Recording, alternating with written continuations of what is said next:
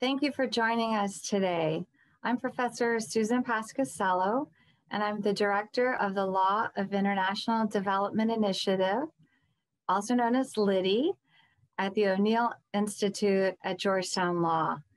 I'm really pleased to see so many students and alums from the Law Center, as well as our students and faculty and our colleagues from the Walsh School of Foreign Service and many practitioners joining us today.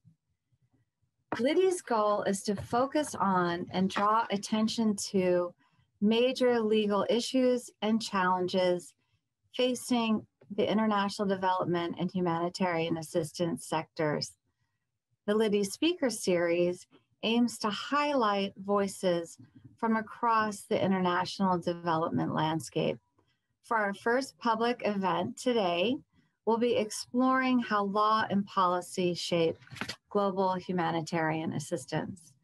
We look forward to your joining us for future conversations and sessions where we'll discuss such topics as protecting communities from sexual exploitation and abuse at the hands of international development and humanitarian assistance workers, and structuring complex public private partnerships and financial transactions to leverage international development programs and funds. The next LIDI Speaker Series will take place in fall of 2021. In the meantime, please stay in touch with LIDI through the O'Neill Institute's website and follow us on Facebook and Twitter. I'm delighted to now turn the conversation over to my co-professor at Georgetown Law, Amit Khardori. Amit? Uh, thanks, Susan. Uh, uh, my name is Amit Khardori. I co-teach the course on the law of humanitarian and international development assistance under the umbrella of LIDI here at Georgetown with Susan and our friend and colleague, Frank Walsh. Today's panel is on the delivery of international humanitarian assistance with a focus on the US legal framework and the on-the-ground practical realities. This includes issues of US authorities and restrictions, including uniquely broad international disaster assistance statutory authorities and restrictive laws such as the US Material Support Statute and sanctions authorities, as well as international restrictions such as UN sanctions and sovereignty and access issues, and practical on the ground issues like logistics and physical security concerns. I describe this panel as the Rashomon panel on humanitarian aid, if you're familiar with the Akira Kurosawa movie. Uh, each panelist brings experience from a different key institutional perspective on the same activity, delivery of humanitarian aid in a challenging, non-permissive, or complex emergency environment. In particular, they represent the broad policy level, the think tank, looking at the range of interests, purposes, and potential approaches. The legislative branch, the work in Congress of translating policy ideas into US authorities, restrictions, and oversight. The executive branch, the donor agency, navigating the authorities and restrictions to find and work with implementing partners and the implementing partners themselves, the grantees and contractors who receive US and other funding to physically deliver the humanitarian aid shaped by all of the foregoing. Our panelists today are Jacob Kurtzer, uh, Director and Senior Fellow for the Humanitarian Agenda at the Center for Strategic and International Studies, CSIS, where he has co-led the CSIS Task Force on Humanitarian Access and written and led several discussions on practically all aspects of access, including one just last week on the unintended consequences of sanctions regimes. Uh, prior to that, he has worked in the field and in congressional relations for the International Committee of the Red Cross, ICRC, another very important, literally founding institution in this space. Uh, next, we'll have Mark Iozzi, a longtime staffer for the US House Foreign Affairs Committee, including the past four years as Deputy Chief Counsel for the current majority staff. He was the lead drafter of the Global Fragility Act, which became law in December 2019 and encourages interagency coordination and permanently authorized funds for complex crises and stabilization and prevention activities in fragile states. He is an alumnus of Georgetown, a graduate of the law school. He's uh, gone on to do many impressive things since then, but also of particular note for our current students in our course. While he was here, he was a research assistant for Professor Gostin's treatise on global health law. Uh, next, we have Danielle Mutone Smith. She is currently a managing director for the Bureau of Humanitarian Assistance in the U.S. Agency for International Development. Prior to this, she held several positions in USAID's Office of Food for Peace, a foundational cornerstone of U.S. humanitarian aid, dating back to 1954, preceding USAID itself. And as a reflection on the interconnections of the institutions of foreign aid, she's also been lead congressional liaison for humanitarian and transition issues. She holds a PhD in public policy as well. She wrote her dissertation on global food security. And last but not least, we have Emily Bussigel. Uh, for the past several years, she has been Deputy Chief Compliance Officer and was previously Associate, Associate Corporate Counsel at the International Medical Corps, IMC, uh, which is a major implementing partner in global health and humanitarian aid. She brings a wealth of firsthand experience with the concerns and challenges of actual delivery of aid. Thank you in advance to all of them. We've done versions of this panel for a few years now, and it's uh, been enlightening in new ways every time. So thank you also again to Susan and LIDI uh, for giving us this platform today. And uh, final note, uh, those of us employed by the US government, including myself, are speaking in our personal capacities based on our own development uh, expertise. Any views expressed are our own and not those of the US government. Now, to give some overview of the topic, uh, every year the US government provides 25 to 30 billion in dollars in non-military official development assistance, ODA, around the world. In 2019, pre-pandemic, it of its total ODA, about 8.6 billion was humanitarian aid. Last week, uh, President Biden released his foreign aid budget request for next year to Congress. In it, he asked for an overall 10% increase, including 10 billion for humanitarian assistance and 10 billion for global health, which in turn includes 1 billion for global health security. All of this is objectively a lot of money, to be sure, but it amounts to less than 0.2% of the annual federal budget. As one former USAID administrator often notes, the entire US civilian foreign service is smaller than the Department of Defense marching band. In terms of numbers of people in need uh, of humanitarian aid, last year, United Nations agencies put out public appeals estimating close to 168 million people in need. In their coordinating roles and recognizing the limits of resources available, they targeted only 109 million for humanitarian aid activities. As for practical considerations, when we talk about humanitarian aid, we mean many things. Aid in response to natural or man-made disasters in complex environments where the cooperation of local authorities is not assured. Activities include responding to basic needs for survival, including search and rescue, food, clean water, shelter, sanitation, healthcare and security, and even in protracted crises, education. In providing this aid, donors and their implementers must negotiate issues of donor conditions, such as statutory and policy authorities and restrictions, access, permission from the host government to enter and operate freely, humanitarian principles, such as humanity, neutrality, impartiality, and independence, and increasingly, codes of conduct for aid workers, such as the SPHERE project, a standard which over 600 NGOs have voluntarily committed to, and the UN led Interagency Standing Committee's principles for protection from exploitation and abuse. All of these carry real risks for humanitarian organizations and their staff. Interaction and industry alliance of hundreds of aid implementers identifies four types fiduciary risks regarding compliance with donor requirements, security risks, including physical safety, legal risks, including potential legal liability from counter-terror regulations and sanction regimes, especially for NGO grantees who have no in-country privileges and immunity protections, and operational and financial risk, where they might do everything right, but things still don't work out, such as when equipment gets lost or damaged. Simply put, it's not a simple matter to do right well. With that context, uh, we'll hand it over to our panel now, uh, who will each speak for about 10 minutes.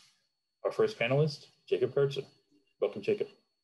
Thanks, Amit. Thank you, Susan, for convening this important event and for continuing to shine a light on this uh, very important issue. At the humanitarian agenda at CSIS, we think about ways, we analyze US policy and we think about ways in which it can be improved, and specifically as it relates to humanitarian assistance in complex settings. And by complex settings, we're talking about conflict affected countries.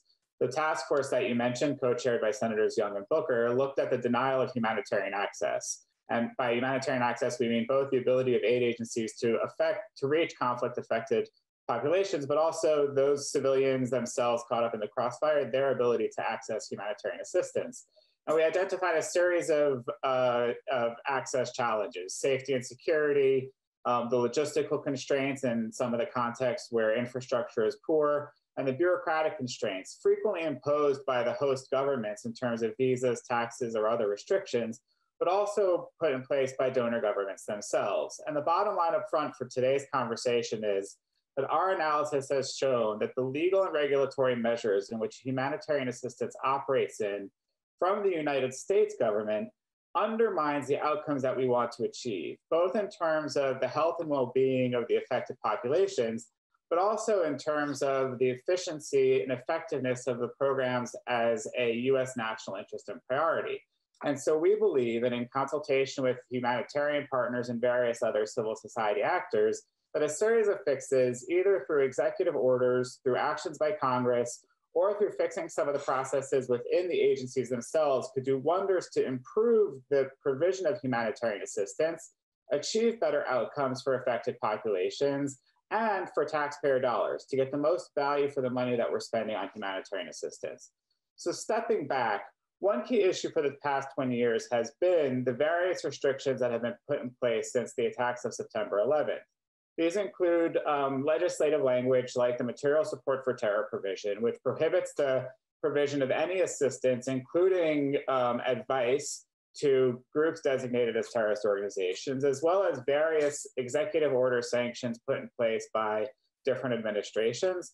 And even the grant language put in place by USAID and the State Department have all negatively impacted the ability of humanitarian agencies to respond. Um, we're at an interesting moment now, right? There's a, a, significant public shift in public dialogue in the way that we talk about a counterterrorism lens in US foreign policy. And it, that shift has, has emphasized the various ways in which a, a strict and almost laser like focus on counterterrorism has impacted various other US foreign policy priorities. And that includes also, I think, a willingness to rethink sanctions as a tool in the manner in which they're implemented. We saw that this administration, the Biden administration, announced very early on an executive order that looked at, among other things, the way that sanctions were impacting the COVID 19 response and looking at and suggesting that uh, finding ways to create exemptions for humanitarian action within existing sanction programs. So while we sometimes talk about this issue as one of reconciling various different US government priorities, what I think we're actually talking about is finding a way to improve and enhance the performance of an incredibly valuable US government program that's humanitarian assistance, which, like you say, in the overall pot of money that we're spending is quite small. But when you look at the amount of money that the United States spends relative to the total pot of humanitarian assistance, small improvements in the way that the US government does humanitarian assistance would have an outsized impact on the overall humanitarian response globally. It's important to think, I think, to, to also contextualize this in the history of the United States as a humanitarian actor. Humanitarian assistance has historically been a bipartisan proposition. Uh, members of Congress from both sides of the aisle have historically given a large amount of support to provision of humanitarian assistance in individual countries and for the programs as a whole. There are various different rationales in, presented by policymakers about that. Um, there's the moral and ethical duty. We have the capacity to help, and therefore we should. There's a legal duty when the United States is a party to a conflict, it brings upon itself certain uh, international law responsibilities to respond to the civilians impacted by that conflict. And frequently, there's a national interest uh, rationale presented that by providing humanitarian assistance, you help reduce instability. You can, you can, you know, uh, spending now helps create, helps uh, prevent bigger challenges in the future. So there are various different reasons why people have members of Congress and administrations on both sides of the aisle have supported humanitarian assistance. But if, with all of these rationales, what you find is that we're handcuffing ourselves. The legal frameworks that we operate in undermine these achievements. And we're also impacting negatively other second order goals in the humanitarian ecosystem. So the restrictions reduce our ability to effectively respond to all civilians caught up in conflict, but they also have impacted our ability to meet other goals in the humanitarian ecosystem. So, for example, there's a commitment towards localization of humanitarian assistance, towards having country based providers be in the lead.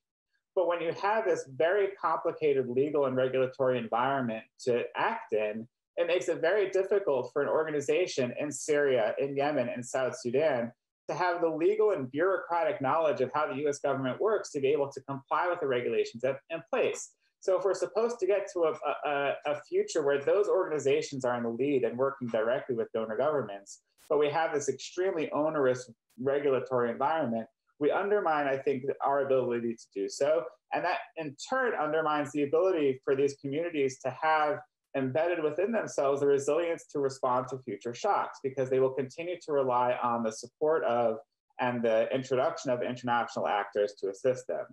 And so we also, I think, have to think about the impact of the US regulatory framework on the, on the globe, right? The power of the US dollar means that even individuals who aren't sanctioned or even institutions, even in contexts where there aren't specific um, restrictions in play, financial institutions become very risk averse when thinking about responding to um, providing financial services for humanitarian organizations.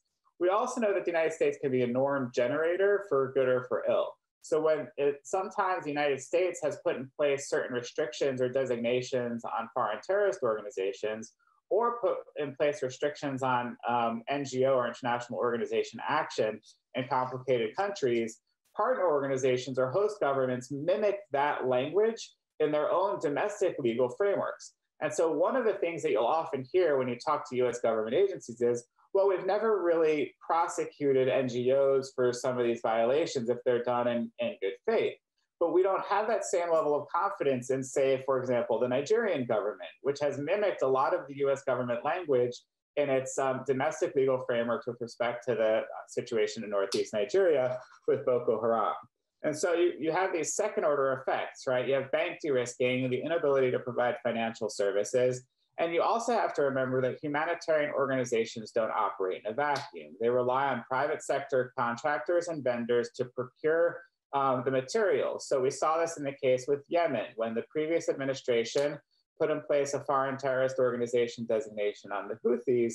They did so with a mass, a very um, forward-leaning exemption program for NGOs that did not solve the problem of the private vendors that the NGOs were relying upon for food and other essential items were saying, heck no, we're out because we don't want to run afoul of a US sanctions program. And so you have these second order effects that even the way the existing laws and the possibilities for remedying them for NGOs, um, you know, uh, the second order effects mitigate the impact of um, uh, the, the provisions underway to help NGOs work. So we've done some analysis on this, and there's a whole community of actors from the NGOs themselves to other think tanks who are working on this um, extremely closely. And what we think is that the system just as it is doesn't work anymore. And so there have been a couple of broad scope recommendations that have been put forward, which I'll which I'll touch on now, and then I'll I'll turn it over to you know the, the rest of the panel to to take it forward from there. Um, in the context of COVID-19, I think the urgency of the current situation, including how um, the spread anywhere affects variants, um, people have called for an immediate global license. While we sort out some of the, the more specific licenses and exemptions uh, issues, to allow um, humanitarian organizations to respond effectively and efficiently in various countries to, to COVID-19. I also think we need to start from a place of permissiveness when we come when we think about humanitarian action. The executive orders put in place since September, you know, since the by different administrations, um, tend to have extracted an existing humanitarian exemption and required organizations to then apply for one.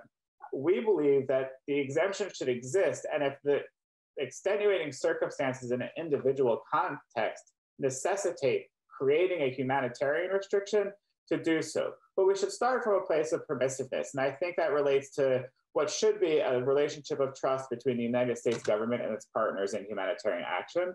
And I think three, we need a clearer and more concise process with respect to applying to Treasury and the State Department for licenses and exemptions. And four, ultimately, the biggest lift is going to be for Congress to fix the material support for terror provision and clarify its intent with that specific law about what it means in terms of restricting the ability of organizations um, to engage with or, or come close to, to foreign terrorist organizations. I want to conclude with one very brief point people talk about do no harm in humanitarian action. I don't think that's a realistic standard. I think we need to talk about harm reduction and really think about balancing the various interests at play when the United States government provides assistance to help vulnerable people in conflict affected countries. And a more realistic way of thinking about it, I think will get us a long way towards solving some of this problem. Thank you. Thank you, Jacob. Uh, uh, very important things you highlighted. We really appreciate how you brought out the fact that there are secondary legal risks, risks that are created by the restrictions that exist.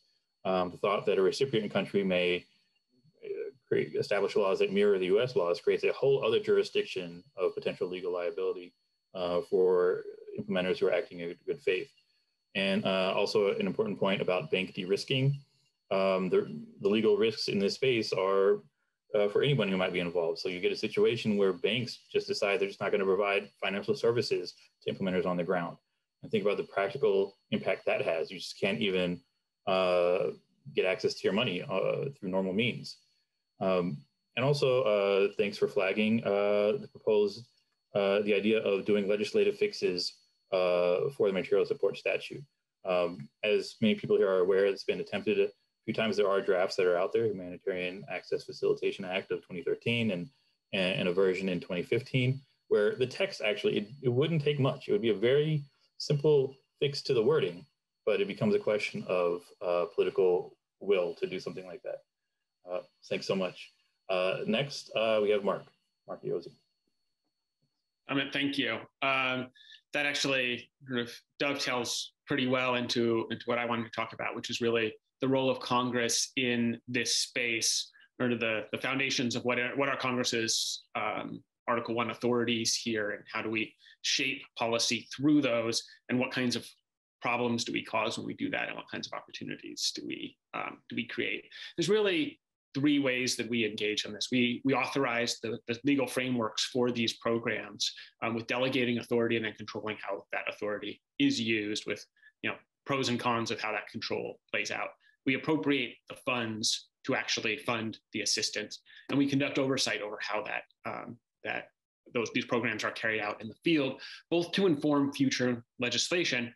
For example, to suss out the problems that the material support restrictions have caused and, and consider ways to, um, to affect those in the future. Um, and then also to engage directly to influence how the programs are, are carried out. Um, and that, you know, Congress perhaps um, the executive branch and others at times would prefer that Congress um, sort of just sat back and legislated, but sometimes members of Congress want to be more forward leaning and sort of shape what happens in the field and, and, um, and take that liberty. Um, I mentioned um, the Global Fragility Act, and maybe that's sort of a, a, as good a framework as any to talk about sort of what we do in these spaces. Um, in the authorizing stage, and that is authorizing legislation, um, we lay out the parameters for a program. The Global Fragility Act is supposed to take sort of the interagency lessons learned from you know 20 years of U.S. engagement in armed conflicts and try to update U.S. programming, the planning, um, and organizational structure for U.S. programs to take advantage of those lessons learned and to have sort of more evidence-based interventions going forward. Um, and to sort of break down some of the silos that exist between USAID and the State Department, the Department of Defense, as you know, these various organizations are funding and carrying out programs in these, these same spaces um, to make sure that sort of we're leveraging the, the, whole of US government um, capabilities and the capabilities of our international partners. Something else that we can do that we did um, in the Global Fragility Act and the Congress has done in the past is establish multilateral funds to leverage the, um, the other donors that are working in a space and try to have a more um, coherent approach.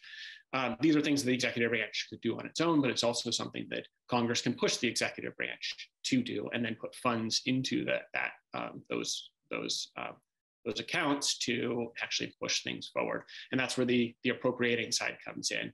Um, you know, we set the the actual money, and we can set restrictions on how that those those appropriations are used to further particular policy objectives of members of Congress. Um, you often hear that a, a lot of foreign assistance funds are over earmarked right? That there, and what that means specifically is we appropriated some money, but then we say if this amount, a certain amount has to be used for this kind of program, and a certain amount has to be used for this kind of program. And that um, means that members of Congress are controlling how the funds are being used rather than it being sort of a, a field driven process. And I think there's a risk when Congress controls funds that it means that the funds can't be as nimble and able to respond to actual needs in the field. Um, from a member of Congress perspective, if you really care about um, you know, early childhood education or child and maternal health, that isn't a problem. That's sort of a, a feature uh, because now you've got a limit a, a, specific amount of funding for that. And with respect to the Global Fragility Act, sort of carrying that forward um, as a framework, um, there's been you know, there's a debate right now over whether in appropriating funds that the Global Fragility Act authorized funds, but then Congress has to come in and, and actually appropriate the money to actually put money into the account, whether we should be earmarking funds specifically for priority countries under the Global Fragility Act or not. And there are sort of pros and cons to, to that debate. If we really want to fund this new initiative, we're probably going to have to dedicate some funds to it. However, there's a top line amount, a total dollar amount that Congress is going to appropriate. So once we earmark some funds for global fragility, they're off the table for something else. So there are always pros and cons to, to Congress being in this space. And then from an oversight perspective, you know, if you look at, say, a, a complex right, uh, conflict like Yemen, um, you know, Congress has been very engaged in the provision of humanitarian assistance to Yemen, both in talking to um, sort of the, the Saudi coalition side of the conflict, um, and also in thinking about what a Houthi terrorist designation, which the last administration designated, and um, um, the Houthis as a terrorist organization, which then has all of these implications under the material support statute. And fortunately, that's been um, been removed. But there's um, but there's um, sort of always uh, a risk that certain things that Congress legislates, for example, uh, a prohibition on material support for designated terrorist organizations, will have sort of what, what I would see as unintended consequences on the other side for restricting humanitarian assistance. And that's really where, in addition to engaging with all the sides and getting the facts, Congress needs to be coming back and updating authorities to address problems that we see emerging in this space. And I think material support is, a, is, is a sort of a sticky issue that I, I, certainly hope Congress is, is going to solve um, in, in the near term. But you know, the a prohibition on providing support to terrorists sort of, I think, strikes your average American, your average member of Congress as just sort of common sense, good policy, right? Why would we be wanting to provide support for terrorism? So walking that back, you have to you have to sort of deal with the politics of well, now we're actually maybe going to be providing some support to terrorism, and that's sort of a political non-starter. Um, so you need a different way to look at that issue, right? And, and a way to think about what's what is the, the, the proper U.S. role in in an armed conflict, and um, and who are who are we harming, um, and whether by by a prohibition on material support, and um, are we actually undermining our objectives in combating terrorism um, by taking such a hardline position? Um, the last thing I'll say is in, in all of these uh, pieces of legislation, Congress often provides waivers, but those waivers often are not as simple and efficient as, as Congress might think. So um, often it means that Congress needs to have a, uh, have a, a, more detailed look at, at, legislation. So I'll leave it there for now. And I, I guess I should note before we move on that um, that unfortunately I, I, have a hard stop at, at 1.30. Um, so hopefully we'll have a chance for a few questions before that. Uh, thanks very much, Mark. Uh, a lot of key points here as well. Uh, appreciate the push and pull of the legislative and executive branches for how prescriptive a statutory authority might be. Uh, to your point, uh, I think it's noteworthy um, that the main U.S. government authority for foreign aid, the Foreign Assistance Act of 1961, as amended, originally had a requirement. Basically, every single time the U.S. government was going to do humanitarian aid, Congress had to pass an amendment to that act to authorize it as in something would happen in a country, an earthquake or something in one country, Congress would have to say, and now we're going to amend the FAA to say you can do humanitarian aid in this country. Uh, in 1975, uh, they amended it to give a permanent standing authority for international disaster assistance. So I think that's an example of where the push and pull got readjusted uh, in response to uh, practical realities. And, and I think a, arguably a, a, shift in American attitudes to uh, other countries. Um, also appreciated uh, outlining the three layers of congressional control for the authority and the actual funds. You can't do anything with authority if you don't have the money um, and, and, oversight, uh, as well as uh, the reference to uh, the way the material support statute works out um, and the OFAC sanctions, sorry, and the authority to designate entities as foreign terrorist organizations, uh, where the previous president made a designation and uh, President Biden had discretion and withdrew that designation, uh, which, as currently set out, could have probably would have arguably all been moot if there had been a blanket carve out uh, for good faith humanitarian activities in the first place. Uh, but thanks also for noting that uh, fixes may be potentially simple on paper, but the way they work out, um, even when there is a fix, uh, they can be complicated. Uh, thanks uh, so much for that, Mark. next, we have Danielle Mutone-Smith.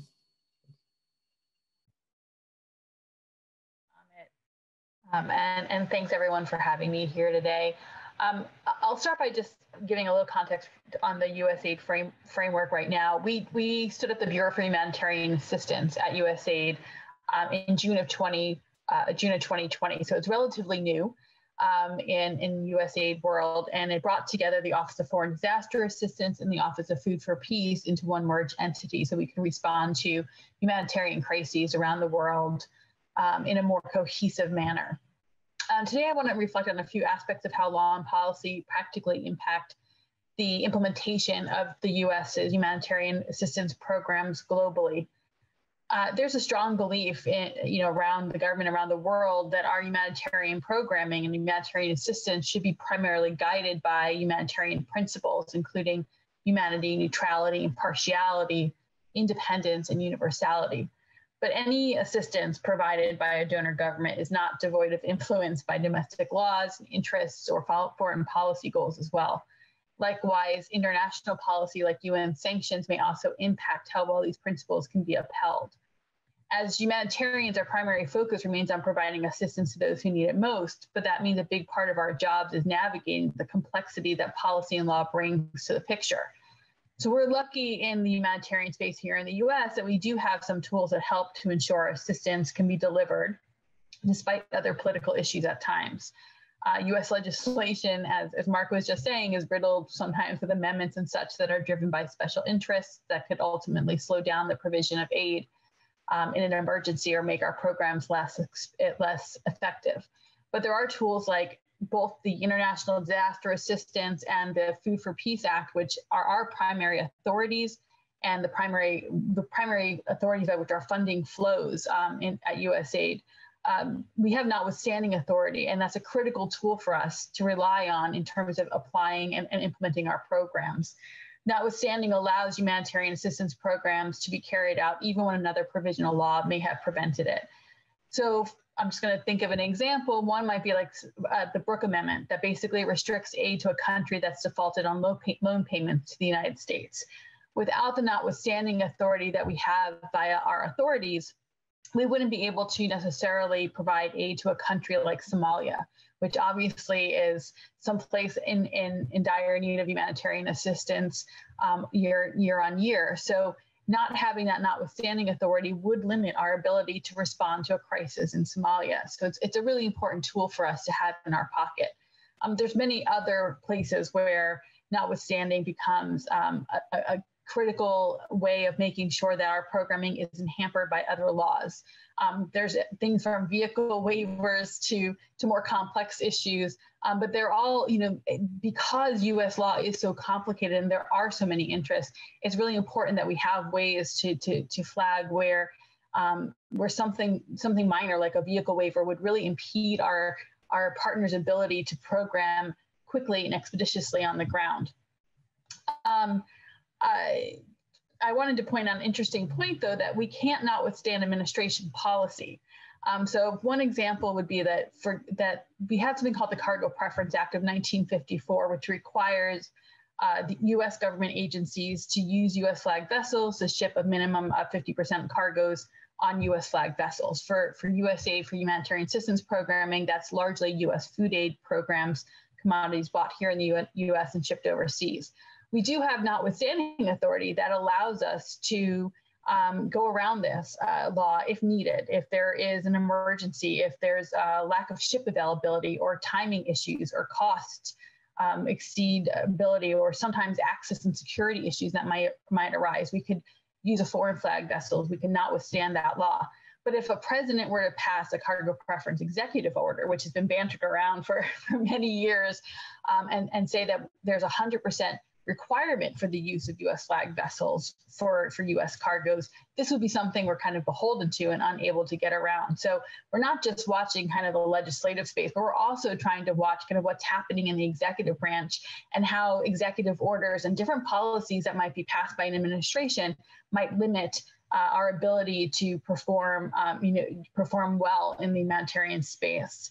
Um, so I wanted to also mention the broad legal framework that the U.S. humanitarian assistance programming has and the limitations and flexibilities there as well. Um, we have two main accounts, as I mentioned earlier international disaster assistance, which is quite flexible, um, and Title II of the Food for Peace Act, um, Act, which is more restrictive and can constrain our response options at times.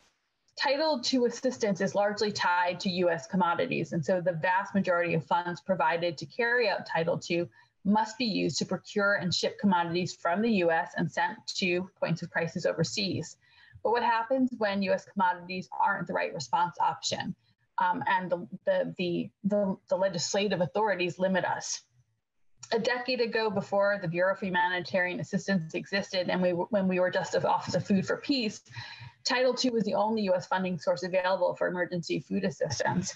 And so, if a crisis emerged where in kind commodities were not appropriate, because, for example, it could cause market disruptions locally or might take months to arrive by the time it was procured and shipped. There wasn't really any other option for us.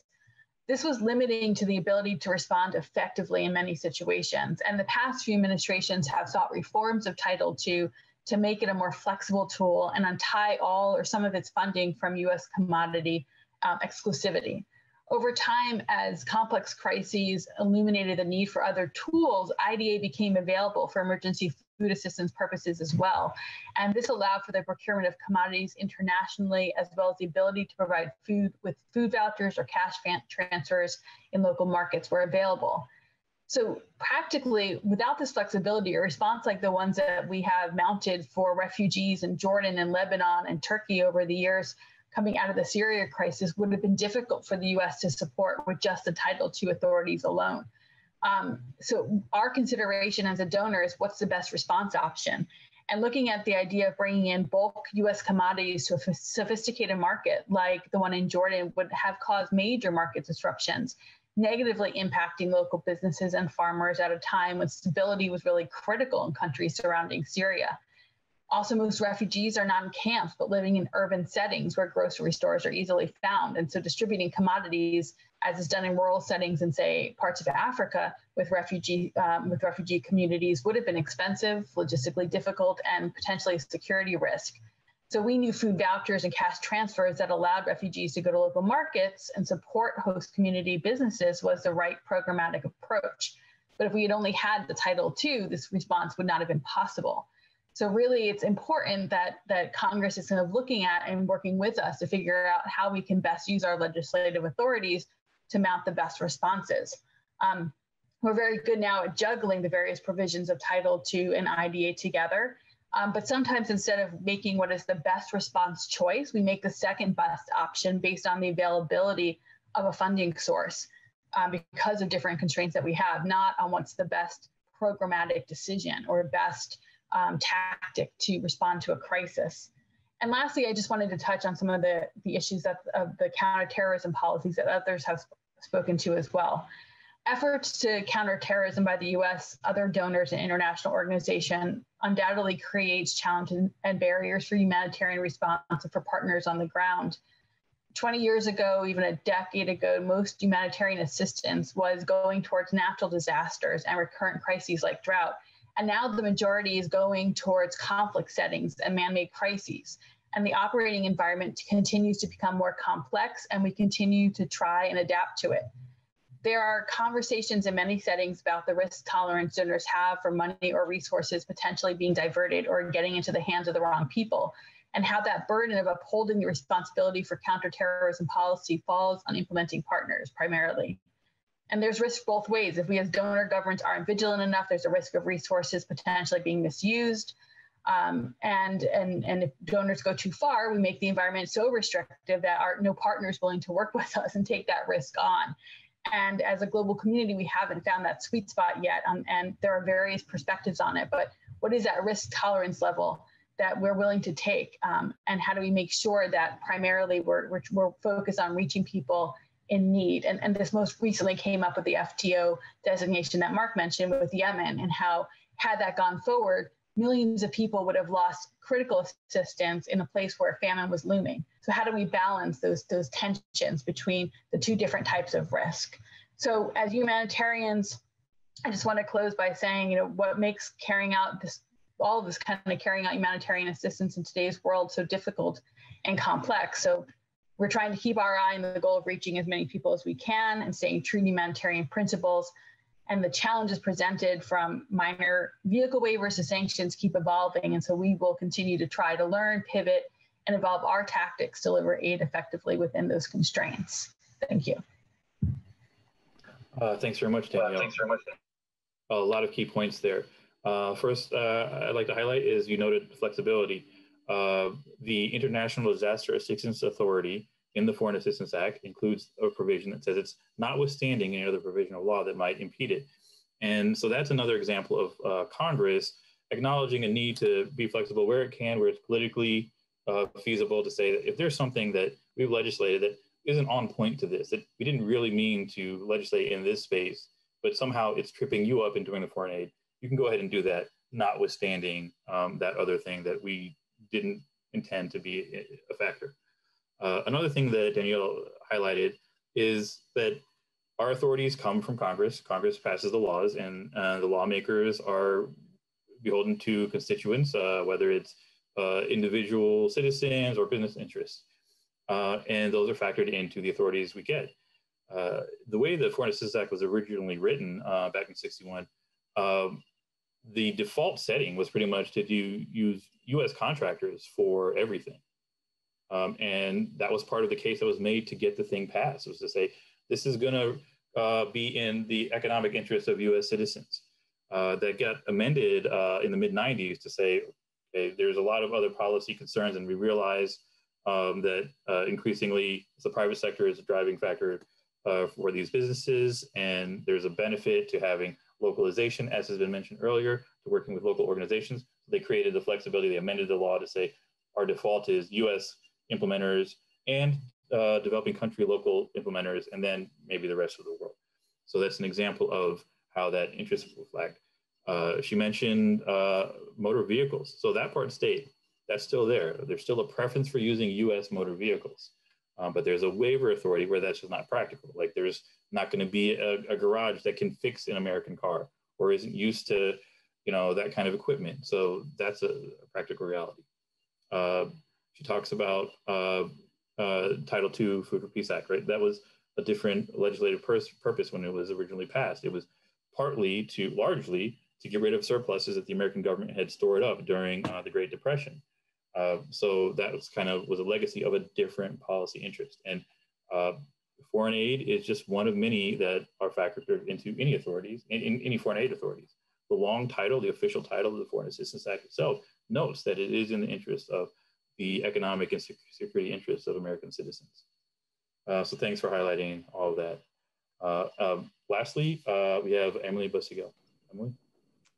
Hi, everyone. Um, thank you very much for having me on to represent the implementing partner side of this. And as you can tell, our job is, is rather risky and rather difficult. There's a lot of legal requirements and legal restraints that we work in. So just a little bit about the framework of how an implementing partner thinks about, you know, how, how they can deliver aid is we receive money from a lot of different donors often you know uh, I, I, work for an ngo it's an american based ngo we receive money from the us government the uk government the eu the un but many different donors all with their own sets of rules and regulations so some of which we've talked about on this call which is you know ofac sanctions and and and other the material support provision other things that restrict us from the us side but we also have other laws um, that we have to operate under we also have to comply with the laws in the places that we're operating in. And that can be just, that can vary so much from place to place. I think my organization works in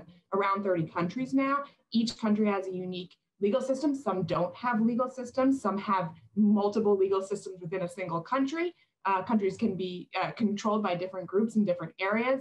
And so that also poses, you know, difficulties in implementing partners' work. And then the third thing I want to mention is that we also have contract contract law responsibilities based on the grant agreements that are given to us by each of our implementing partners. So it's not just the laws that are passed by the the laws that all of our donor countries have to comply with and they have in their you know in their kind of legal systems but also what's in your exact contract term based on your your each different program that you're implementing so provides means we have to operate under a lot of different uh, legal regimes a lot of moving pieces that we have to kind of think about in all of our work um, and i'm going to just dive in and give some specific examples of where this comes up in a, you know, in a, in a first response and an initial emergency, and then also kind of talk about as we continue to keep our programs going, what we have to monitor in them to make sure that we are complying with our um, with the different legal regimes that we're working in and all the things that, that people um, talked about. Uh, from things as specific as vehicle waivers, making sure we're, we're using the right vehicles to making sure we're complying with the sanctions um, laws. So um, just you know, if we, if you think about, okay, there's a, a new pandemic in a country that we're that you know my organization is not working in, what are the first things that a lawyer in my organization thinks about when they receive word that we're going to be sending people out? The first thing we think about is sanctions, probably. Um, we think about are there external restrictions on, on us and what we can do in that country? Um, and the sanctions laws differ by jurisdictions. We obviously uh, look at, you know, the U.S. government sanctions, but also UN, EU, UK, those types of things. Um, and when that happens, so for example, my organization rather recently started uh, implementing programs in Venezuela. And so what do you do? You work really closely with the programs on the ground to make sure that every single thing they're doing, from buying gas to hiring employees to um, opening bank accounts, that every single little thing that they're doing complies with those sanctions laws because it's such a big risk for us. And it's, I think, as people mentioned, it's such a um, not I want I don't want to say it's easy to run afoul of those rules, but it's you know there's no fault involved, and you can their mistakes can be made, so you have to be incredibly careful in this area. Um, it, you know things it includes what kind of mobile phones can your can your um, employees use um, you know, sometimes there's restrictions on technology. There's things like import and export restrictions that often go hand in hand with sanctions. So in an initial deployment, you could imagine telling somebody who's being diverted, a doctor who's being diverted to, you know, deploy to a new country, hey, I don't know that you can bring your laptop there because there may be, you know, export restrictions involved. Why don't you just ditch it in your airport locker? Like that's the type of type of advice that sometimes NGO lawyers have to give on the fly. Um, and you may not know at that time, but you have to play it safe. Um, so then another thing that you have to do when you first start um, implementing in a new country is register. And um, registering in a new country with different legal regimes can be incredibly difficult and incredibly time consuming. Um, sometimes there's an emergency authorization from the central government to allow your NGO or other any NGO to work um, during an initial disaster time, but you have to make sure your activities are authorized within that emergency authorization and that your staff who's going to deploy can actually do their work. So if it's a doctor, are they certified to work in that country? Will they be certified under the whatever emergency authorization there is?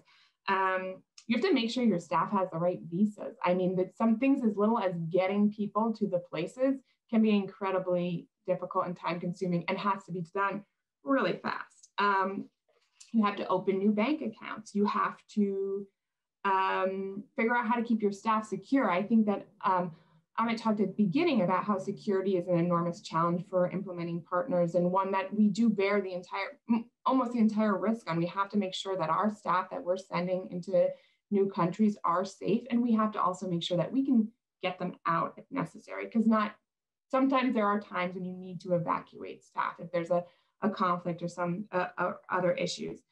And another thing about registering um, with a new in a new place, you also have to be very careful as NGO that you're not being manipulated by the government you're working with, or and that your aid's not being interfered with. So this is one of the things we talked about with the goals of humanitarian aid is to not be political, to you know help the, the, the populations of greatest need. Often the governments of countries that you're going into want your aid to be more political. I mean, they prefer that your aid is directed to you know, the, the parties or the people that they favor or in a, way that's politically favorable for them. So you have to make sure that your your work is not being interfered with or or manipulated in any way. So it's another important thing to think about at the beginning of any response. Um, and then just a couple examples on the logistics side.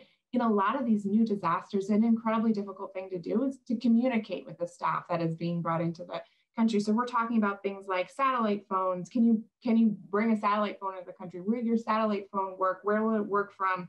You need to rent cars. Prices are going to be really inflated at the beginning of a of a of an emergency. You you have to worry about whether the U.S. government's going to say, "Oh, you paid too much for that rental car." I think that was a that was a fraud. Um, that's a false claim against the U.S. government. I'm going to sue you under the False Claims Act. You have to make sure that you document every single thing that you do, so that you're not subject to that type of risk. Um, I'll talk about fraud a little bit more in a, in a minute. Um, you need to get medicine and you need to get other supplies, tents sometimes, that type of thing into the country. Um, and there's great coordination mechanisms that that work on this. It's not every ngo out for themselves. The un often coordinates in, in initial emergencies and we work with our partners like bha and like other and with other government agencies and other ngos to split up the responsibility and to coordinate to make sure that we're really serving the populations as best we can. That's just a couple things on the initial response. I also want to talk about three things that as a lawyer for an ngo kind of make up a lot of my work, keep me up at night, that kind of thing. Um, the first I mentioned real briefly, anti-corruption and anti-fraud issues. Um, humanitarian aid is often a target for fraud. And the US, for example, has two laws that really kind of relate here. The False Claims Act, which I just mentioned, which requires that you know, taxpayer funds are sacred and that you cannot, none can be diverted, all needs to be used towards the project goals that were provided in the grant agreement. Um, and the second is the FCPA, the Federal Corrupt Practices Act, that, um, that forbids any bribery or corruption um, overseas by a US company with foreign governments. Um, so what do we do to make sure this doesn't happen? Well, we can't always ensure it doesn't happen, but what, what controls do we put in place to mitigate this risk? We have a lot of checks on transactions. We require a lot of review, escalating review as transactions get more risky.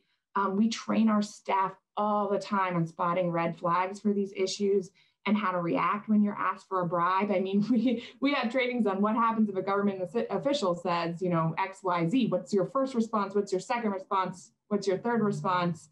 And you know, um, those are hard trainings because we get a lot of hard questions. Um, and we also have um, pretty large internal investigations um, departments. I think all NGOs, internal investigation department, have grown over the past few years.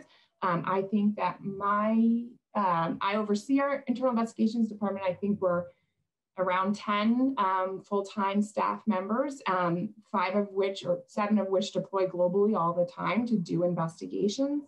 Um, and we and we discipline staff and we tell our donors about any fraud issues and we're required to pay back that money. So if we you know, if somebody stole from us in a foreign country, we actually always, pretty much always, especially with government donors, have to pay that money back. Um, and so that's a huge risk for us and a hard hole for a nonprofit organization to fill. Um, the second area of constant concern is um, is sexual exploitation and abuse. And I, I'm going to talk. I'm going to end with this one, but I just can't. I cannot not mention it because um, it's really um, the most important thing we do, which is an implementing partner goes out to the field, takes all of these risks of violating laws, of doing this work in order to help vulnerable populations. But our staff, the people who go out there, are because of the power imbalance and the fact that we're delivering aid, there's a great risk of exploitation of the, of the people that we're there to serve and that ha- there have been um, several instances reported in the news and uh, in the last couple years. And you know, I think that the entire um, the entire you know area has really improved the work here. And I and I know that um, you're you know the, the people on this call have worked on this a lot. Um, but from an implementing partner uh, standpoint, I mean, I just want we have an investigation department. We investigate where we, we do reactive things, but really what we're focusing on is being preventative because sexual exploitation and abuse, just like sexual harassment and other sexual misconduct, it's a tip of the iceberg issue. Most people don't report it. So if you're getting reports, that means that there's a lot more happening, right? And so you can't just have an investigations department. You need to have communities who understand what standards of conduct are for, for all of your staff as an implementing partner, feedback mechanisms that can tell you if something's starting to go wrong. Um, you have to build your programs in a way that emphasizes that um, that people are safe from A to Z. Nobody gets food alone, all those types of things. And I think I'm running out of time and I want to leave enough time for our closing speakers. So I'm to I'm to end there, but it, it, keeps going, a list of things that implementing partners have to think about. Um, but it's, you know, we take the risk because it's an incredibly rewarding place to be to see the work on the ground. Uh, thanks very much, Emily. A, a lot there. Um, the fact of having to deal with the multiple uh, legal frameworks, uh, the fact of NGO re registration laws and access issues where implementers, you're, you're neutral, you've got the humanitarian principles, but still might end up being pawns in sort of international uh, government disputes. Uh, so moving uh, to the next part, thanks very much to all the panelists, I want to say. we'll now have concluding remarks by Rachel Alpert, who teaches international law here at Georgetown and is also affiliated with LIDI. Thank you very much. And thank you all for joining today. Thank you to the to LIDI and the O'Neill Institute at Georgetown for hosting this fascinating discussion. And um, real big thanks to our panelists for such an engaging discussion and for showing us the multitude of different ways and different facets involved in these challenging humanitarian issues. We heard our panelists bring to life the realities of providing humanitarian assistance from the perspectives of a think tank, an implementer, from Congress, a funding organization. Um, and it, it, was really insightful. Um, from, from Jacob Kurtzer, we learned about kind of setting the stage for us to consider the ability of the US to be a leader in this space and a norm generator, but all of the um, the the issues that get in the way there, um, how setting kind of the legal and regulatory framework can undermine these outcomes that we wish to achieve, and specifically the material support statute, which was really a theme throughout a lot of these presentations, um, since it's one of the main issues of the day. Um, Jacob underscored the importance of starting from a place of permissiveness rather than restriction. Um, and it's something to consider as poly- policymakers navigate these difficult issues. Um, Mark Iozzi then gave us an excellent perspective about the role of Congress in this space, shaping policies through Congress's Article 1 authorities, um, and the role of Congress as the authorizer, appropriator, oversight for the implementation of assistance. Um, we also heard about the difficulties of, of thinking through and implementing, creating the laws to both account for the various pressures in the legislative processes um, and the, the various interests at play in this space, and especially, um, you know, as we think through the current context with the material support statute and the tensions between um, the, the desire not to fund terrorists and at the same time the real need for humanitarian assistance on the ground in, in these challenging areas. Um, next, Danielle Mutone Smith at USAID um, gave us a, a, really insightful perspective about the role of USAID um, in kind of implementing and funding these important humanitarian assistance initiatives. Um, and we learned about the importance of the flexibility and also the limitations um, that the laws can provide. So, from Title II, the Food for Peace Act, the expansion of the IDA authority, and the importance of notwithstanding authorities to allow humanitarian assistance to be carried out even when otherwise restrictive, and the very real impacts of those legal framework challenges and also the changes in the legal frameworks necessary to allow for important humanitarian assistance to be carried out in places like Syria and elsewhere, where things like sourcing locally are really important to allow for humanitarian assistance to really um, be implemented fully.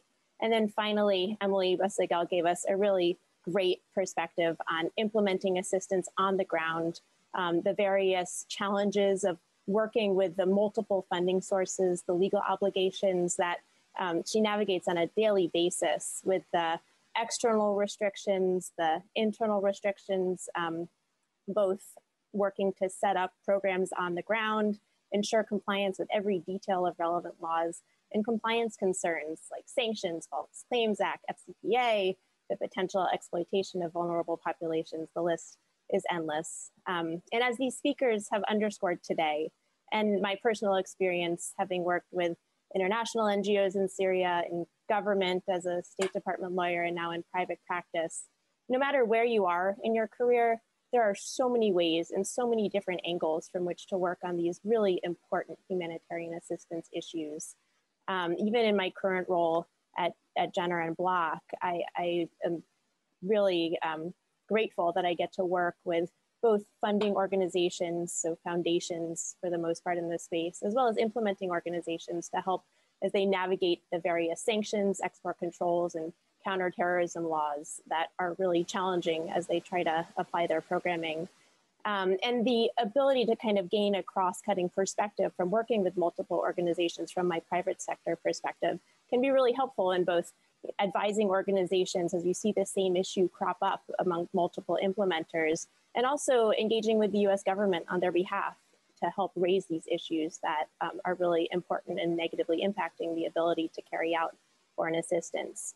Um, you know, when you work on humanitarian issues, you work on cutting edge issues that are really important to, to day-to-day life of everyday people on the ground in places like, like Yemen and Syria, like Burma, Darfur, and the mixes and the fixes of, of dealing with the you know challenging legal framework, whether it be sanctions and um, the very real challenges um, inherent in the material support statute, um, are really keep this work meaningful and also very challenging. So this panel today has demonstrated the importance of working on these important issues and issues that you are um, personally invested in and continuing to push and challenge yourself in your legal careers. Um, thank you all for joining and please look out for LIDI's next speaker series in the fall. I'm sure it's gonna be a really engaging discussion as well.